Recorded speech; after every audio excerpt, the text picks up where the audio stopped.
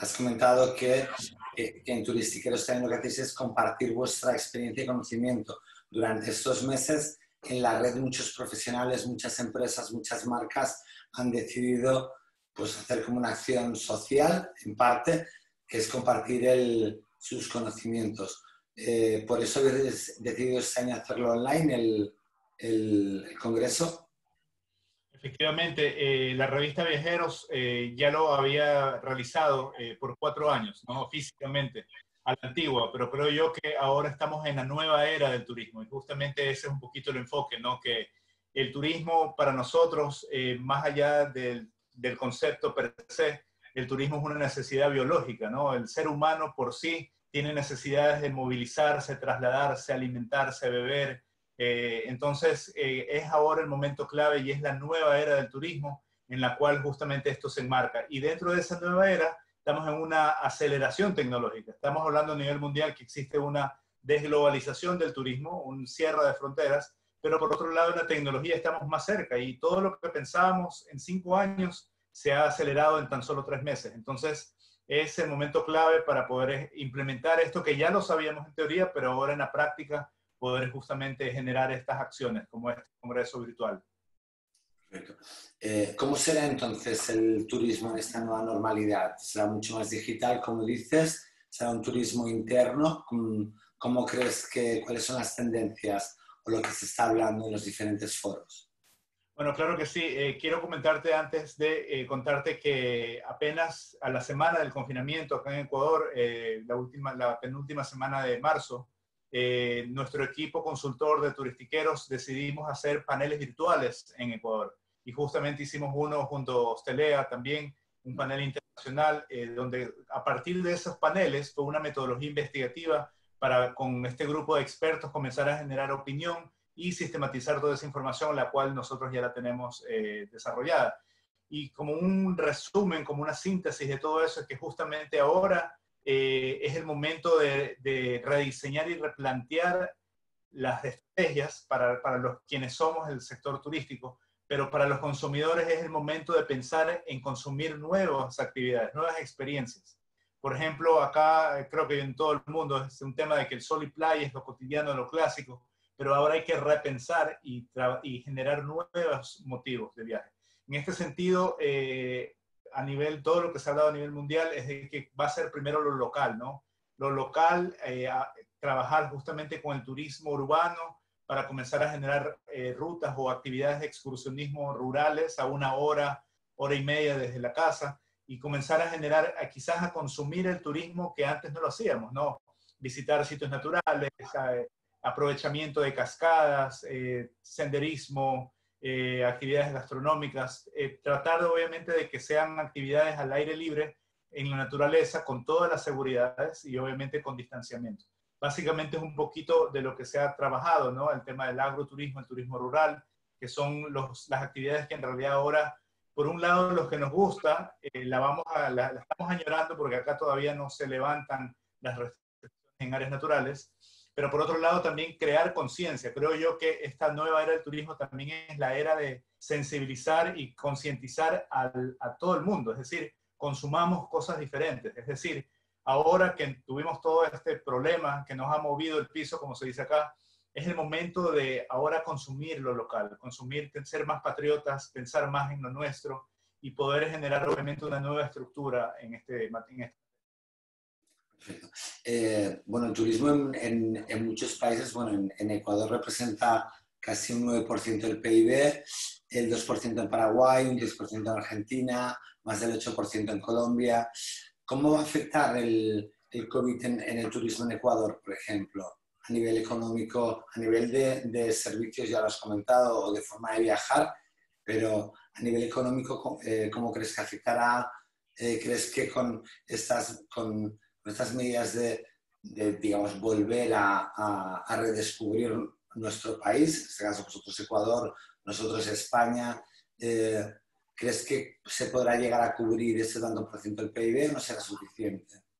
Bueno, yo pienso que eh, va a ser difícil, pero obviamente hay que hacerlo, ¿no? Eh, creo yo que después de tantas catástrofes a nivel mundial y, y, a partir de crisis es cuando han surgido oportunidades, ¿no? El caso de Japón, con sus bombas nucleares, obviamente a partir de eso se convirtió en una potencia, o la Segunda Guerra Mundial que marcó un hito en la historia del turismo, ¿no? Y creo yo que ahora es el momento clave, ¿no? Eh, lamentablemente Ecuador es un país tan rico, lo digo lamentablemente porque nos enfocamos solo en el petróleo, ¿no? No, no quienes hacemos turismo, sino las autoridades. Eh, y obvio, esto no es un tema eh, político, pero sí es importante saber que dentro del análisis PEST, el tema político es clave. Y no solamente tenemos la problemática del COVID, tenemos la problemática de la corrupción, tenemos la problemática de, de, de obviamente, todo lo que es la brecha social, y obviamente todo lo que tiene que ver. Pero Ecuador es tan rico, no se imaginan la cantidad de recursos naturales y culturales que, que justamente deben ser aprovechados como productos turísticos.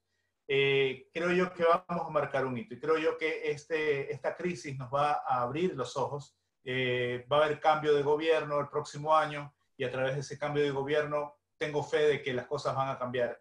Va a ser difícil, pero tenemos que hacerlo, ¿no? Eh, y ahora creo que, como les digo, es el momento si bien es cierto, Ecuador recibía alrededor de millón y medio, millón setecientos mil eh, a nivel eh, internacional, creo yo que es el momento de los 17 millones de ecuatorianos que puedan recorrer su país, recorrer lugares que antes no conocían y poder implementar más el turismo rural. Como les digo, no solamente los oferentes, hay que crear conciencia en las grandes ciudades ecuatorianas, Ecuador, eh, Guayaquil, Cuenca, Quito, para que recorran su país. Somos un país tan pequeño, tan compactado, pero con tantos recursos. Y eso es importante porque ahora es pequeño, pero compacto en todos sus recursos y toda su oferta.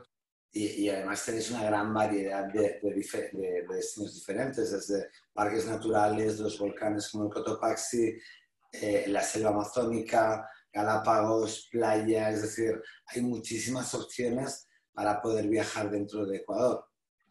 Así es, y todo eh, tan cerca. Justo parte de la campaña que hemos hecho es Ecuador todo tan cerca, ¿no? Son cuatro mundos en un solo destino. Entonces, es, es parte de lo que tú dices, bien conectado, bien compactado y con mucha diversidad. De acuerdo. Yo, bueno, estuve en Ecuador hace unos años y la verdad es que me enamoró. Te, te, tengo que confesar. Eh, ¿Qué importancia tiene el marketing en el sector del turismo? No te escuché, disculpa. ¿Qué importancia tiene el marketing en el sector del turismo? Bueno, el marketing es sumamente importante. El marketing y la comunicación son vitales. Eh, nosotros, dentro de lo que generamos, la gestión de los destinos, eh, tenemos, siempre hablamos de tres fases dentro de nuestro modelo de gestión de, los destinos. Primero, desarrollar el territorio, llámese territorio, destino, atractivo, eh, y poder hacer un aprovechamiento holístico en base a los, al talento humano, que es la clave, obviamente, de las personas, las comunidades generar en función a sus recursos naturales y obviamente a sus mercados potenciales. Y en base a eso tener un territorio bien organizado, bien planificado y con productos. La segunda fase es justamente la que mencionas, el marketing. Si ese territorio, si ese destino no tiene obviamente una gestión de marketing turístico, no solamente la planificación del marketing, porque hay muchas veces que se hacen planes de marketing, pero quedan guindados, quedan colgados en una, una biblioteca, sino la implementación integral de, las gestiones de marketing turístico, de nada sirve todo lo que se hizo, ¿no? Porque el marketing, eh, para mí el marketing no es vender, el marketing es posicionar.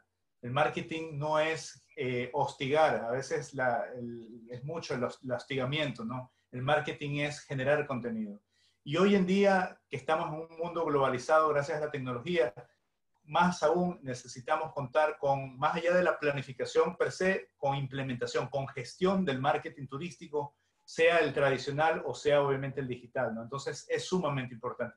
Y hoy, eh, a partir de esta pandemia, estoy seguro que todo el, todo el mundo está ya implementando bioseguridad, aprendiendo, capacitándose, pero el marketing es clave. Y la tercera fase es la comercialización turística, ¿no? la parte comercial que es sumamente importante, que ya es el call to action, ya para comenzar a generar obviamente el tema revenue y básicamente eh, cerrar el ciclo de la sostenibilidad, ¿no? Porque el, el, turismo, dentro de lo que nosotros siempre comentamos, es que en turismo hay que saber cuándo ser romántico y filantrópico. Hay que saber cuándo serlo, porque lo importante es que dentro de la sostenibilidad también se genere el tema económico para toda la cadena de valor. Totalmente en, el Congreso participan varias universidades y escuelas de negocio como Stelea de España y universidades de Ecuador y Paraguay. ¿Por qué crees que es importante que el mundo académico y el mundo, digamos, profesional se unan en un congreso como este? Bueno, eh, la academia en turismo también es vital. Eh, necesitamos salir de una aula mater para poder adquirir los conocimientos teóricos, poder hacer la, la praxis y en el camino implementar todo eso aprendido, ¿no? Eh, y ahora es importantísimo también la implementación de investigación.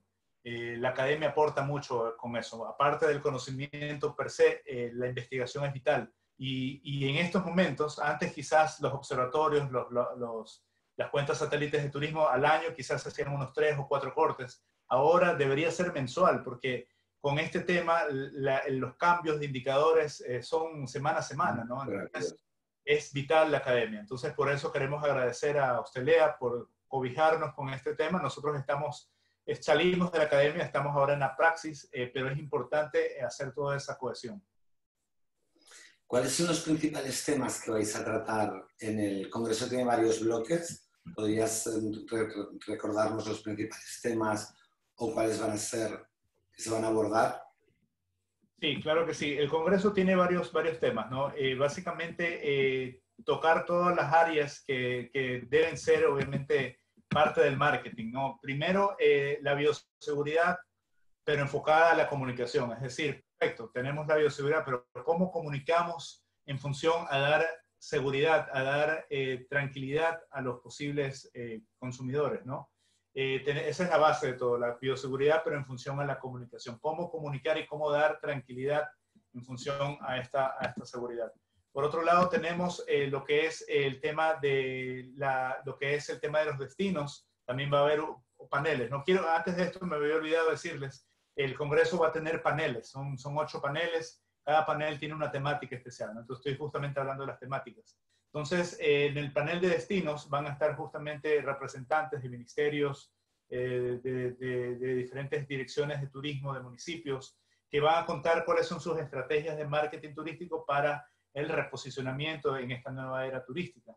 Tenemos también el panel de sostenibilidad, que es muy importante, siempre enfocado a la comunicación y al marketing, para saber cómo es el tema de la sostenibilidad enfocado a toda la que es la parte ambiental, rural, que ahora también se necesita aprovechar para poder generar eh, sostenibilidad.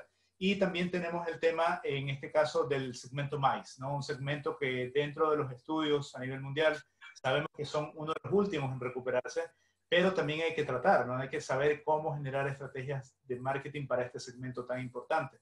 Tenemos también el segmento enfocado a lo que es el tema eh, de lo que es temas deportivos también, temas deportivos, porque sabemos que el turismo deportivo mueve masas en España, ustedes son duchos en esto, en el tema futbolístico, etcétera. Entonces, van a haber varios paneles, ¿no? Eh, varios paneles dirigidos a diferentes áreas. Estamos todavía afinando eh, con los eh, conferencistas justamente esos paneles para poder contar con un congreso que obviamente nos sirva para todos, ¿no? Para para estudiantes, para posibles inversionistas, para consumidores, es decir, todos somos eh, consumidores del turismo. Es decir, el, el, el, Congreso va dirigido a cualquier tipo de persona, sea profesional o no, sea turista o trabaje en turismo, eh, mm, sea una agencia, un destino, una administración pública, es decir, va dirigido a cualquier tipo de persona. Así es, es, muy amplio porque tiene ese enfoque de justamente de unión. Creo yo que ahora también eh, uno de los factores claves es la unión de, de, la humanidad y, y, la idea es poder nosotros a través de la tecnología acercarnos a través de este Congreso. Perfecto. Eh, y, ya la última pregunta. En el Congreso, bueno, está organizado, como has dicho, por la, por la revista Viajeros, estáis turistiqueros. ¿Qué importancia tienen en el mundo del turismo hoy en día lo que son revistas, blogs, influencers y más si hablamos de marketing turístico?